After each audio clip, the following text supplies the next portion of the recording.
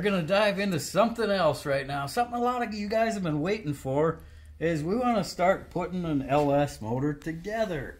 We got all kinds of videos on how to do some painting tips and techniques. There's a ton of really good information that I'm not going to go through in this video. I'm going to send you a link. Down below will be the painting tips and techniques for these motors to clean these up. So there's a lot of people, can you buy a LS motor from a junkyard and they just go and slam it in there and throw a big turbo on it and run a nine second quarter mile and tell everybody on the internet that you can do this for 1200 bucks just like my buddy did. No, you can't. And we're going to take you through some of this stuff, how much it costs, and how to go about the whole process of doing it. We already got other videos in on how to pick your motor and how to choose from a Gen 3, from a Gen 4. So check those videos out if you want more information on that. But we're going to go forward with putting one of these motors together and running it and everything. And we'll show you what kind of horsepower that it can uh, take care of, what uh, the builds are, NA, what kind of oil pans we're going to run with this particular swap. So this one is going to go into a uh, X body, a 74 Nova is where this motor is going to go. What is the motor? It is a iron block, six liter, that actually came into uh, uh, right on the back of the block. Here is where they're they they're stamped in on the back of the block. Oh, and they are on the front on this one as well. Some of them they are, some of them they aren't on the front side of the motor also is the uh, but the unfortunate part if you're looking at one of these in a junkyard trying to figure out oh is it a six liter? Is it a five three? You can't see that when it's in the car because the transmission is hiding the casting in the back. The front drive accessories are hiding that in the front so you can't physically see it.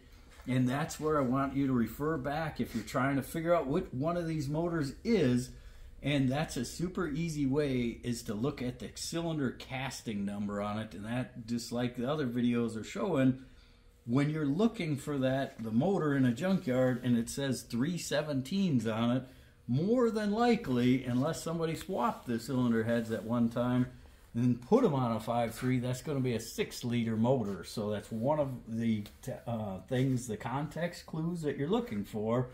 Another one like we talked about before, you look, this motor is upside down, so it's really easy to see. There is no tap knock sensors right here, and the knock sensors are in the top of the valley pan on it. So this is a Gen 3 motor, so that's what tells you the difference between that. Now the motor's apart. This is a 24X reluctor wheel right here. And you see it's a double width right here. Small teeth, big teeth on it.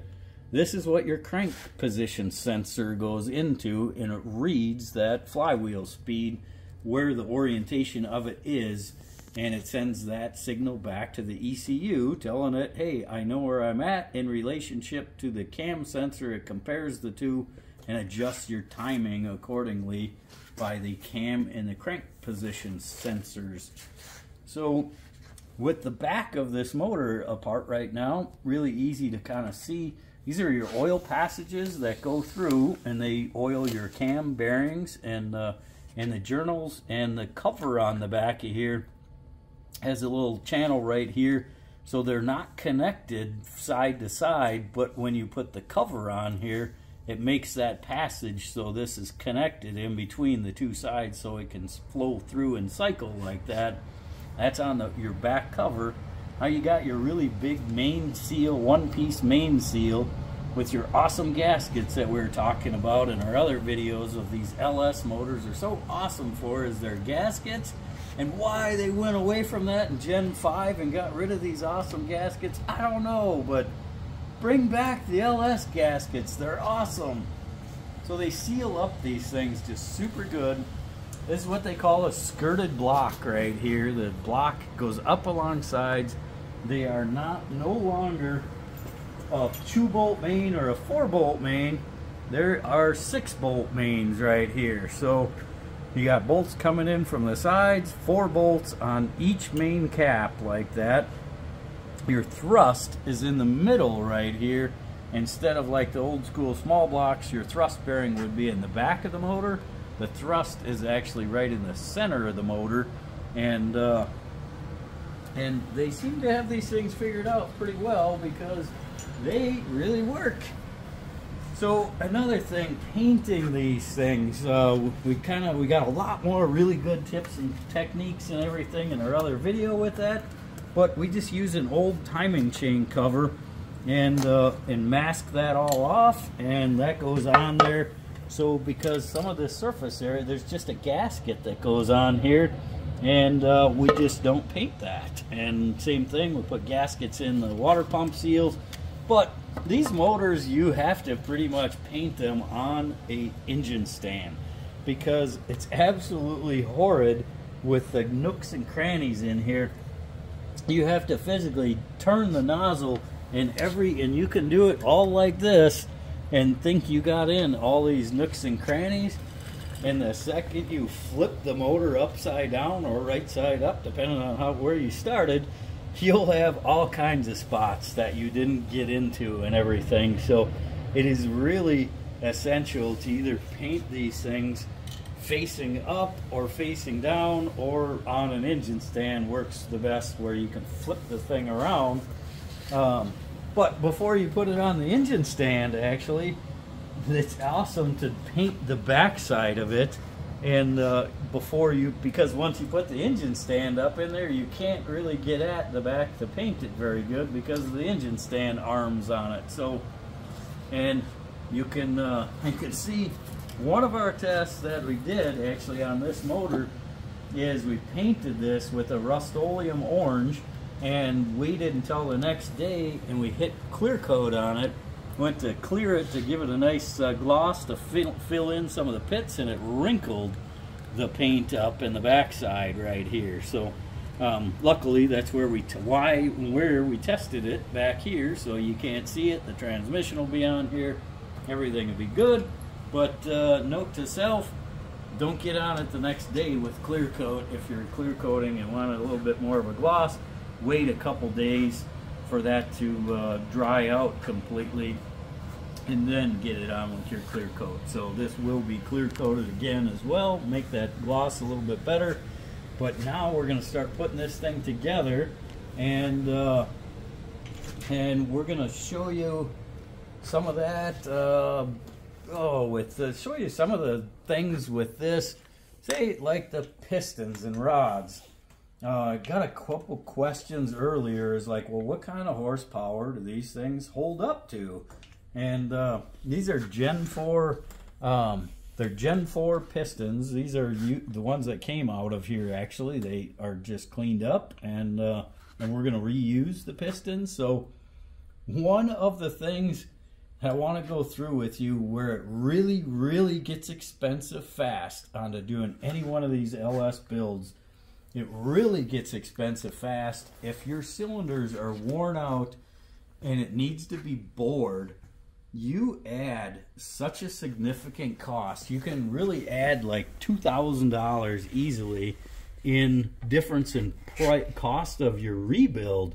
So the cylinder walls are big keys and the crankshaft wear and everything else how it comes apart you get your junkyard motor with 300,000 miles and it needs to be bored, well, now you got to buy new pistons. You know, they're average of about 500 for non-forged pistons. You get into forged, they can be all the way up in a thousand. So, so now also you just added 500 to a thousand with just your pistons.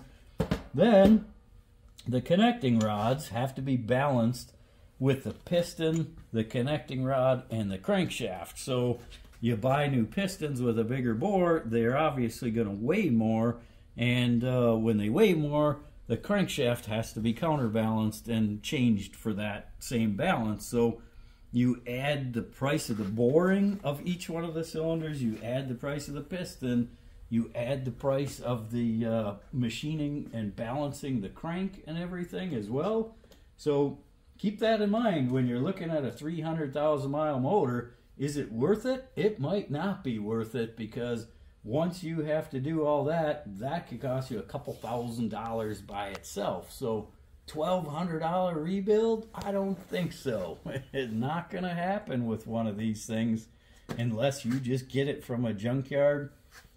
Best, best way that I can tell everybody to go get an LS motor is to get one out of a running, driving vehicle that you can hear it.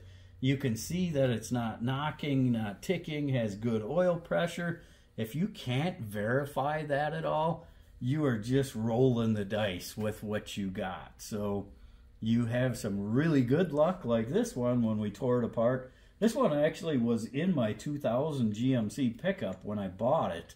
And uh, luckily it was a really good running and driving, so I knew the motor uh, was was good in the first place, but was even more surprised once we pulled everything apart. The piston bores are just awesome. They're just absolutely almost like brand new. The pistons are like new and stuff as well. A lot of people say, "Oh, well, the coating is worn off." I'm calling complete BS on that coating stuff. It's just there for looks, basically, and uh, to make it look cool when you buy it in the first place. All of them are going to wear that off within about 10 minutes of running. So you see them like that, run them. That's, uh, they're awesome still. So clean them all up, make everything look new. New motor, clean, clean, clean, clean, clean is the key. We got a lot more cleaning to do with this thing and then we're going to start putting this thing together. We'll give you another video coming up of the assembly of it and uh, some tips and techniques for assembling a motor as well. So stay tuned. We got a lot more coming up, guys.